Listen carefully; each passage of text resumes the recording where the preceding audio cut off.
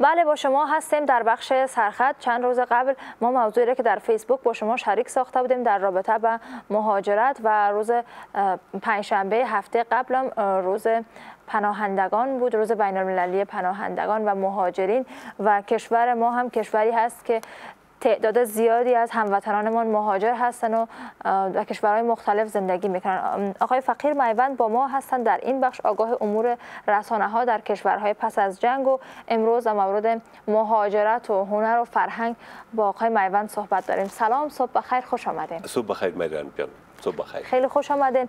آقای میوند ما از کشورهایی هستیم که در معرض مهاجرت خیلی قرار گرفتیم و جنگ و مشکلاتی که در افغانستان در سالیان زیادی بوده باعث شده که مردم زیادی از افغانستان برن و کشورهای دیگه زندگی کنن و حتی فرزندان خیلی از خانواده هستن که در مورد افغانستان معلومات بسیار کم دارن و دلیل از اینکه در کشور دیگه به دنیا آمدن همونجا کلان شدن با فرهنگ همون کشور بزرگ شدن و حتی در مورد افغانستان چیزی نمی‌دانن و در مورد فرهنگ از افغانستان.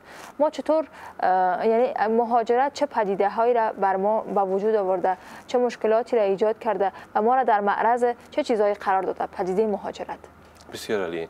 اگرچه که روز تجلیل از روز مهاجرت که در سراسر دنیا از تاریخ 25 جون تا آخر جون تجلیل میشه. بله. گذشته بازم صمیمانه می روز مهاجرت بر تمام مردم که مهاجر هستند و دست پنجه نرم می‌کنن برای زندگی و تحصیل و داد و ستوت برشان مبارک باد میگم. ژاله اسفانی شاعر بسیار معروف ایرانی خوب یک پارچه یک شعر داره پرنده های مهاجر. در یک قسمتش میگه میگه پرنده های مهاجر میترسم که رفتنتان بسیار دیر شود و دوباره بر نگردین. اما بازم سیمین بهانی بسیار مقبول میگه دوباره می سازمت وطن اگرچی با خون و جان خیش. این حرف است که سیمین بهانی در بیرون هست و می‌خواه برای وطن خود فکر بکنه. بله ما داشته های فرهنگی خود از دست میتیم. و داشته های فرهنگی کشورهایی را که در اوج زندگی می‌کنیم آیستا آیستا در سر دسترخوان ما جای خود می‌گیره اما وقتی که یک تعداد جوانای ما پس دوباره با شور و حلحله که دارن در وطن میان در یک تناقض یا در یک فضای جدای فرهنگی آبایی خود و فرهنگ که در اوج زندگی بله. کردن یک, یک درز ایجاد میشه و برشان بسیار مشکل است که با این فرهنگ که بر میگردن دوباره به افغانستان که چی فضای چی جوش و خروش چی صمیمیت دوستی بود در سالهای دور دور که هنوز اینا مهاجر نشده بودن پدرایشان اینا را از دستشان نگرفته بود به زور بردشان به طرف مهاجرت. اینا با این فرهنگ آبایی خود بیگانه می باشند و در این فرهنگ آبایی خود زیاد رنج دارن و رنج میبنن بالاخره آیستا آیستا عادت می‌کنن و می‌بینن تفاوت را. وقتی که در اون کشورها میرن او فرهنگ زیبا و پسندیده که در کوچه و پس کوچه کابلش یا ولایات دیگه حکم فرما بود او دیگه در اوجا نیست. اونجا باید قوانین و مقررات از او کشور باید مراحت کرد و در مطابقت با اون قوانین و مقررات باید خود ایار ساخت. چطور ما خود عادت بتیم با فرهنگ کشور دیگه که به اوجا ما مهاجر هستیم و زندگی می‌کنیم؟ مریم جان اگر در او کشور فکر بکنیم شما وقتی که پاسپورت بریتانیایی را یا فرانسوی را یا جرمنی را می‌گیرین بر شما کورس های متعدد و کورس های زبان فرانسوی انگلیسی داده میشه.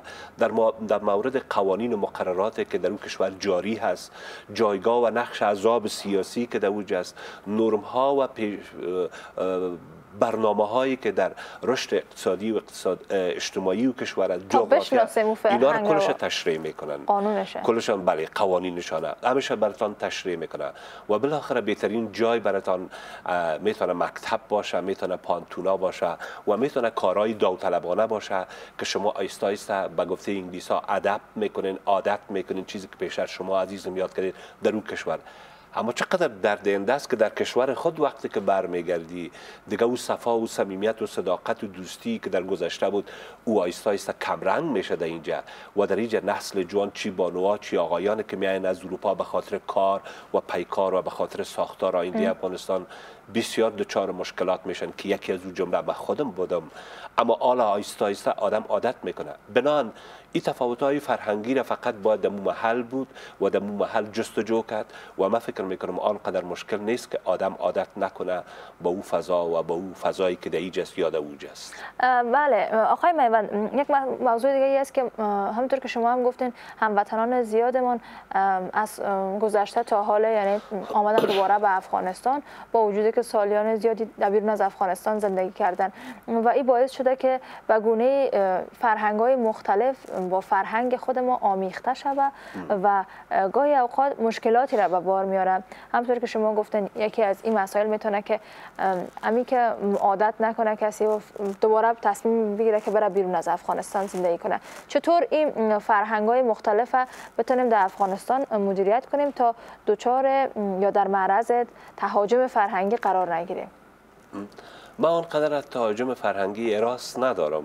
من از صورت استفاده نادرستش اراس دارم. بگذاریم که ما از فرهنگ های دیگه استفاده کنیم. به طور مثال در سالهای دور دور که شما تحلیل کردین از احمد ظاهر احمد ظاهر اولین کسی بود که موسیقی رپ در افغانستان آورد. پاپا در افغانستان آورد. اما شما ببینید که آقای قندوزی موسیقی رپ آورد و موسیقی رپ از کجا آمد؟ از ماجرت آمد. یا موسیقی را که اکنون در ستاره های فردا اینا پیشکش می‌کنیم. یا تصاویر که در دیوارای سمیتی شار کابل می‌بینیم. بله. آیا صد سال پیش ما را داشتیم؟ نه خیر نه. دورتر از استودیوتان دو دانه قواخانی بسیار زیبا و پسندیده درست شده. یکی به نام سلایس و یکی هم یک قواخانی دیگه درست میشه به نام کباب افغان. شما ببینید اینجا تمام شیوه های کباب و تمام شیوه های پخت و پز کیکا و قهوه ها همشان استایل اروپایی است. در حالی که ما شما 100 سال پیش در پل آرتن افغانستان خانه داشتیم که او به نام کوتی لندنی یاد می‌شد. اما امروز ما او را نداریم و چقدر زیباست که این دوستای ما در بیرون رفتن آمدن با یک سرمایه و می‌خواین که بر افغانستان کار بکنن و فرهنگ نو بیارن.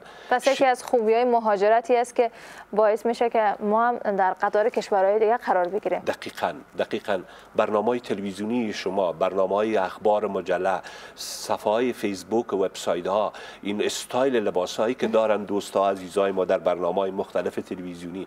ببینین اینا همش همش حتی از افکت هایی که شما استفاده می‌کنین از ساوند دبنگ که شما استفاده می‌کنین اینا کلش تاثیرات از فضای دیروز ماجرت اما امیدوار هستم امیدوار هستم که اینیش در دهنده, در دهنده تر است مریم جان.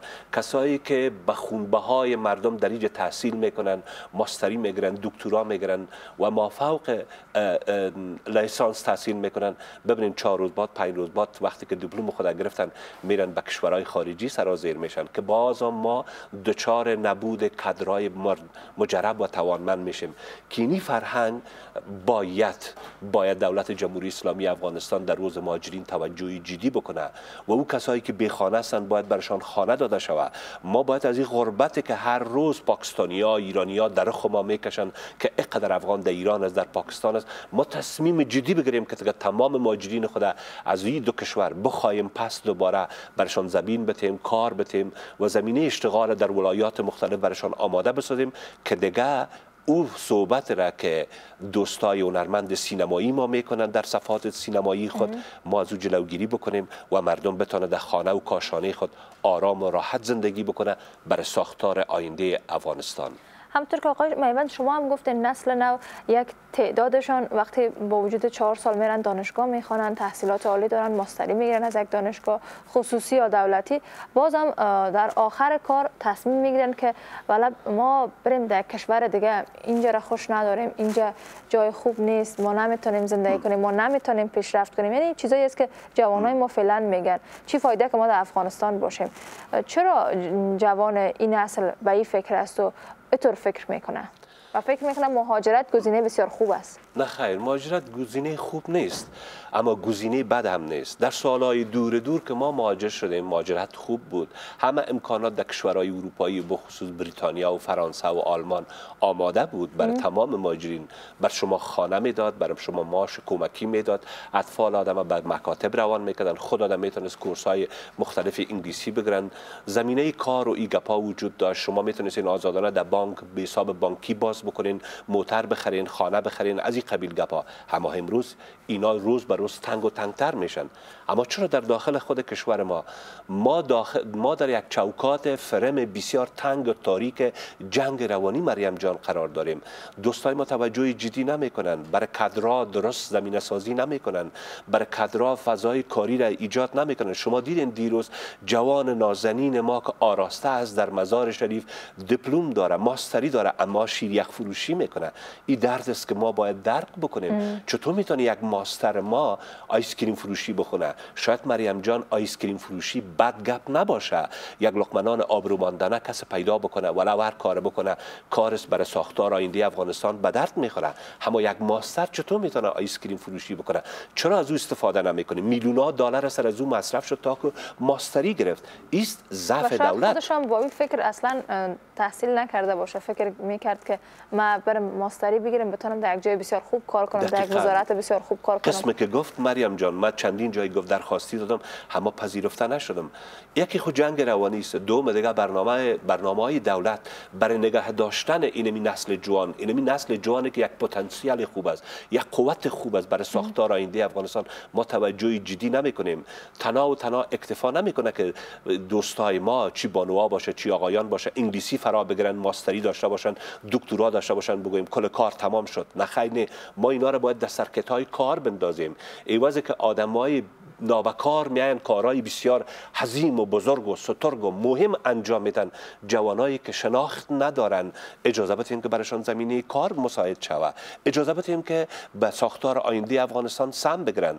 نمی‌خوایم در مورد بانوها بگوییم که بانوهای ارجمند ما که چقدر توانمندی بلند دارن. همه زمینه کار برشان مساعد نیست. بازا میرن در کنج خانه میشن. وقتی که در کنج خانه بشنن او دیپلمش چی به درد می‌خوره؟ و طفلی که از او تولد میشه او طفلش حتما دیگه آدم تحصیل کرده نیست به خاطر که مادرش هر روز برش میگه بچم ما امیر رقم شدم تو دیگه مسلمان نشو. خب آقای میوند یکی از موضوعات دیگه که در مسئله مهاجرت بسیار از نظر مردم قابل ارزش است که میگن مهاجرت باعث میشه که ما چیزای یعنی فرهنگ کشور خود فراموش کنیم و در مورد مهاجرت فکر می‌کنن که ما در کشور دیگه وقتی رفتیم زندگی کردیم شاید چیزایی را یاد بگیریم که وقتی بیایم به افغانستان و چیزا مفید بر ما واقع نشه و به همین دلیل مهاجرت از زیاد ترجیح نمیتن و میگن فضایی که در بیرون از افغانستان است کاملا متفاوت است طرز لباس پوشیدن شیوه زندگی. آیا این خطرات هم یعنی خطراتی را که مردم فکر می‌کنن واقعی هست یا خیر به نظر شما؟ مریم جان واقعی است. همه قسم که غلو میسادن چاق میسادن نه. من که همراه خود صحبت می‌کنم بعد از 28 سال از بریتانیا آمدیم. زبان انگلیسی و زبان روسی می‌فهمم یا در طرز صحبتم شما کدام کلمه انگلیسی یا روسی را پیدا کردین در مدت زمان که همراهتان صحبت می‌کنم در برنامه مختلفتان؟ نه خیر. ما تلاش کردیم که فرهنگ آبایی خودم باید حفظ بکنم. و این به مفهوم از این است که ما این کار کردیم. هزارا جوان دیگه ما هم است که تلاش کردن و تلاش می‌کنن و میاین کار می‌کنن پای کار می‌کنن در افغانستان. در کشورهای مختلف زندگی کردن. اما امروز خودم می‌خواین که عادت بتن با اینمی فرهنگ. در صحبتشان در گفتارشان در روششان در برخوردشان. شما هیچ احساس نمی‌کنید که آقای بانو 50 ساله یا 20 ساله یا 10 ساله در اروپا سپری کرده.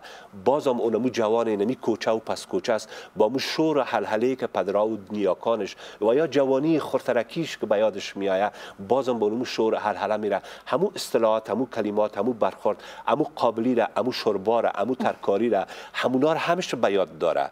همو انانات مای مبارک رمضان خود یا سال نو یا عید به یاد خود داره.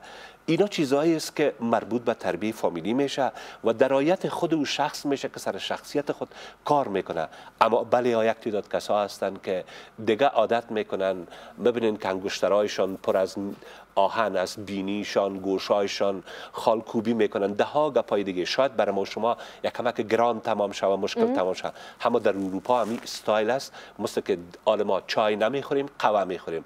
به کس ربط نداره. خب. مهم است که شخصیت باشه. برای جامعه خود. تشکر آقای میوند. سلامت باشین. از اینکه امروز تشریف آوردین صحبت بسیار خوبی داشتیم.